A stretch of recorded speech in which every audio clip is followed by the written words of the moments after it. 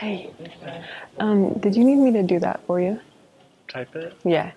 Well, I'm. I don't have it like written out, so I'm just kind of like Oh. going through. Do you Okay. type for a job or? Well, it's just like Chipotle or not. Yeah. Yeah. Yeah. I mean, I have like a really basic outline, and then I'm just kind of like expounding off of it. Like burrito bowls or. Yeah. I could do it later though. Yeah. It's due at twelve. It's my last thing, and I'm a really big procrastinator. Ah. so this is your last final. yeah, it's my last thing. So. Which kind did you get? What for my paper? What do you Yeah, yeah, yeah. Oh, it's for my arts and humanities class. Do you think I could like take that?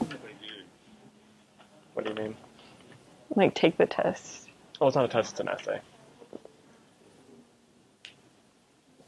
So I have to um, discuss two different pieces of art from two different time periods that have the same theme and discuss how art has changed over time.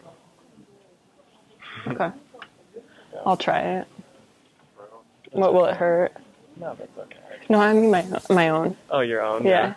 I like to do other people's finals. Yeah.